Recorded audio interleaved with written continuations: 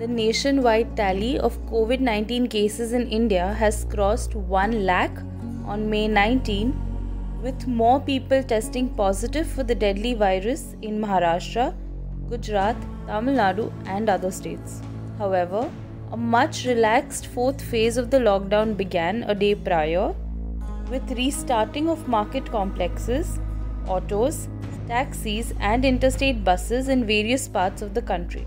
The death toll due to COVID 19 in India has crossed the 3,100 mark. Maharashtra topped the nationwide tally, followed by Tamil Nadu.